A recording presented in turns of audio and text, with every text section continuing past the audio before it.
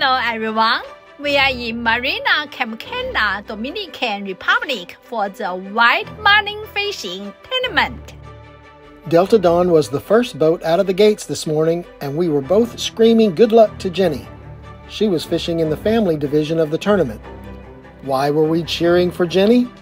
We walk the docks every morning, and this wonderfully friendly young lady popped out of her boat to say good morning to us.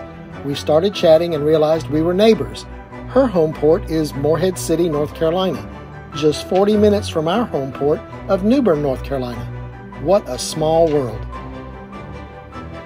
We watched the parade of sport fishing boats go by, wishing we could be one of those lucky people.